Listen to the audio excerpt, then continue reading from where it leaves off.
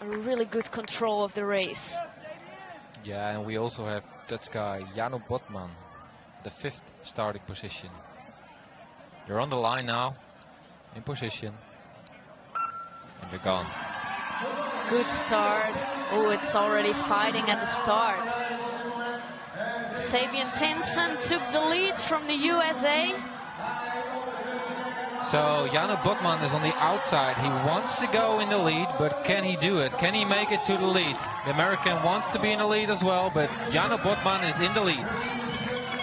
It's interesting what is going to happen now. They're fighting for place three, four, and five. But now Iwan Foussadier took over.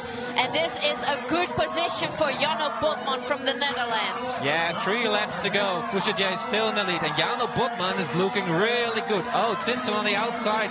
Tinson on the outside is trying to take over the lead. But he's in second position now, just in front of Jano Botman. Oh, and it's two laps to go. And also the Korean guy is moving up. An Italian guy on the outside. Race so far. What is going to happen? Vincenzo Maiorca on the outside. Oh, and we have a crash. Jano Botman is out of the race. Oh, and just one lap to go. One lap to go. The Italian guy is Oh, and Korea on the inside. Vincenzo Maiorca or Jongchin Cheo. He took the silver medal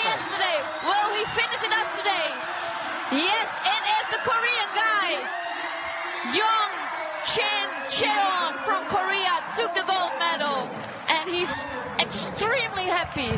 Gold medal for him.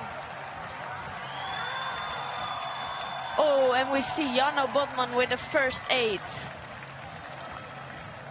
It's not looking really good, but it's also maybe disappointment. Silver medal to Germany, Jan Mende. That's a big surprise for me, Jan. And in third place, we see Vincenzo Maiorca from Italy.